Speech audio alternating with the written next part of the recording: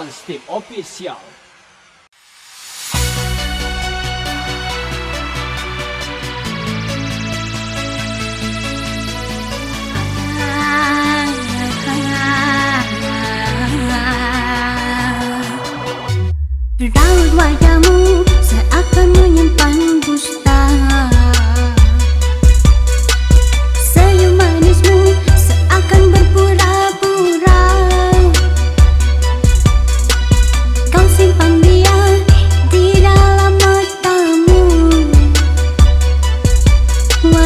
bila